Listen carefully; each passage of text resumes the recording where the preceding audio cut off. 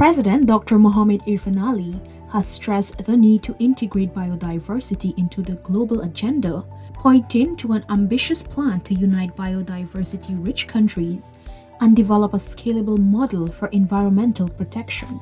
The head of state is confident this will foster global collaboration, innovative financing, and sustainable development while setting a new precedent in the climate change fight. President Ali made the call during his presentation on Wednesday at the opening of the Concordia 2024 Amazonas Summit.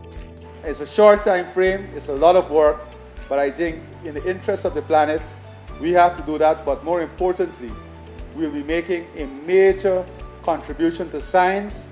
We'll be doing all the uh, groundwork to prove a model, to develop a model, and then to, to demonstrate to the world that a model can work at scale.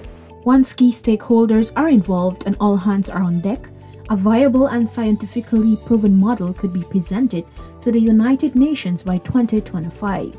He said Guyana stands ready to lead in what can be termed the Global Biodiversity Alliance. Guided by the Low Carbon Development Strategy 2030, Guyana continues to maintain low deforestation rates. The country has a US 750 million contract for the sale of its forest carbon credit, with 15% of these funds going directly to indigenous villages for sustainable livelihood activities.